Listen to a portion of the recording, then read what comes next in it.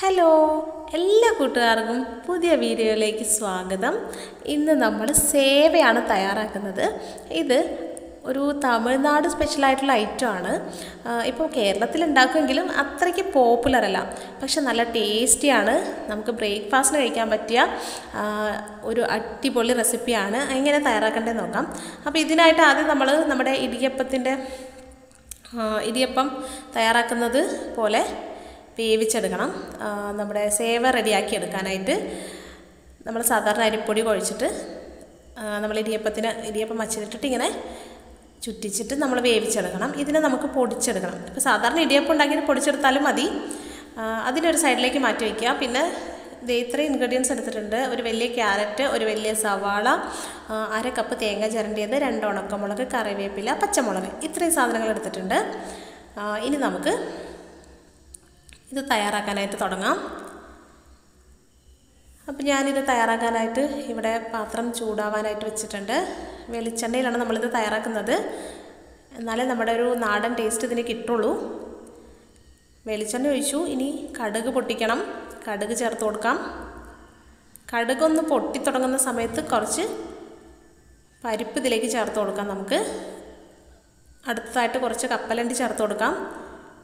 ഇനി ഉണക്കമുളകും കറിവേപ്പിലയും കൂടി ചേർത്ത് കൊടുക്കണം.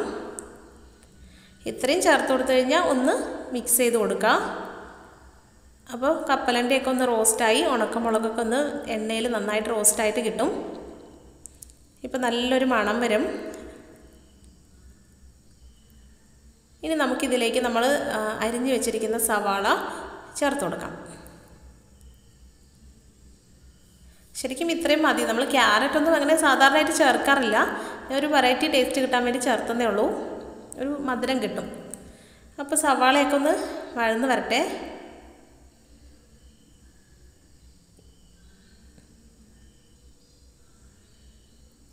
സവാള സവാള പെട്ടെന്ന് വഴന്ന് കിട്ടാൻ നമുക്ക് കുറച്ച് ഉപ്പ് ചേർത്ത് കൊടുക്കാം. ഇപ്പോൾ ഉപ്പ് കുറച്ച് ചേർത്താൽ മതി. നമ്മൾ ഇടിയപ്പം ഉണ്ടാക്കുന്ന സമയത്ത് അതിൽ ഉപ്പ് ചേർത്തിരുന്നു. ഇനി ക്യാരറ്റ് ചേർത്ത് കൊടുത്തിട്ട് നമുക്ക് ഒന്ന് മിക്സ് ചെയ്ത് വേവിച്ചെടുക്കാം.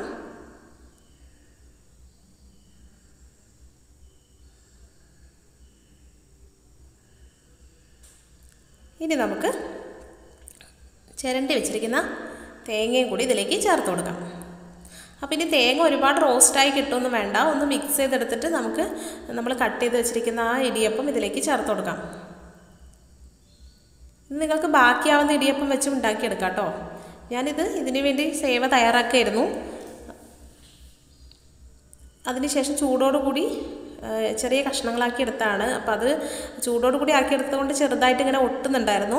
പക്ഷെ ആ ഒട്ടലുണ്ടെങ്കിലും നമ്മൾ ഇതിലേക്ക് ആഡ് ചെയ്ത് കഴിഞ്ഞ് നമ്മളിങ്ങനെ മിക്സ് ചെയ്ത് കഴിയുമ്പോൾ ചൂട് തട്ടിയിട്ട് എല്ലാം വിട്ട് വിട്ട് വിട്ട് വരും. ഈ ഒട്ടലൊക്കെ മാറിയിട്ട് കറക്റ്റായിട്ടുള്ള കൺസിസ്റ്റൻസിൽ നമുക്ക് കിട്ടും. അപ്പോൾ നമ്മൾ മിക്സ് ചെയ്യുന്ന സമയത്ത് ഇതുപോലൊരു സ്പൂൺ വെച്ചിട്ട് ഇങ്ങനെ ഓരോ ഭാഗമായിട്ട് മിക്സ് ചെയ്യുക. എല്ലാം കൂടി ഇളക്കി കൂട്ടരുത്. അപ്പോൾ അതേ കണ്ടില്ലേ മിക്സ് ചെയ്ത് കഴിഞ്ഞപ്പോൾ തന്നെ ഈ ഒരു രീതിയിൽ നമുക്ക് നല്ലതുപോലെ പെർഫെക്റ്റ് ആയിട്ട് കിട്ടിയിട്ടുണ്ട്. ഇനി എല്ലാവിടവും ഒന്നും കൂടി മിക്സ് ചെയ്ത് കൊടുക്കുക സൂക്ഷിച്ച് വേണം മിക്സ് ചെയ്യാനായിട്ട് കേട്ടോ അപ്പോൾ ഇത് ഇത്രയേ ഉള്ളൂ സംഭവം. ഇത് റെഡി ആയിട്ടുണ്ട്. ഇത് നമ്മൾ പാലക്കാട് ഭാഗത്തൊക്കെ കൂടുതലായിട്ട് ഉണ്ടാക്കുന്നത് പിന്നെ തമിഴ്നാട്ടിലൊക്കെ പോകുമ്പോഴാണ് നമ്മളിത് കാണുന്നത്. നല്ല ടേസ്റ്റി ആയിട്ടുള്ള ഒരു ബ്രേക്ക്ഫാസ്റ്റ് റെസിപ്പിയാണിത്. ഇത് നമുക്ക് കഴിക്കാനായിട്ട് കറികളുടെ ആവശ്യമൊന്നുമില്ല. അപ്പം നമുക്ക് ഇടിയപ്പമൊക്കെ തയ്യാറാക്കി അതിന് വേറെ കറിയും ഒക്കെ ഉണ്ടാക്കുന്ന സമയം കൊണ്ട് ഇതുപോലെ തയ്യാറാക്കുകയാണെങ്കിൽ നമുക്ക് സമയം ലാഭിക്കാം. അതുപോലെ തന്നെ ടേസ്റ്റി ആയിട്ട് കഴിക്കുകയും ചെയ്യാം. അപ്പോൾ എല്ലാവരും ഇതുപോലെ ട്രൈ ചെയ്ത് നോക്കണം. താങ്ക്